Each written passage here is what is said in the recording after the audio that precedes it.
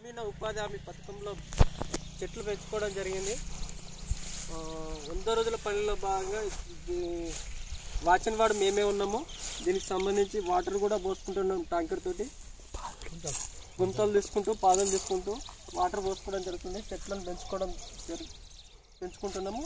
So దీనికి సంబంధించిన ట్యాంకర్తో నీళ్ళు పట్టుకుంటున్నాం. దీనికి సంబంధించిన డబ్బులు కూడా మాకు వస్తున్నాయి.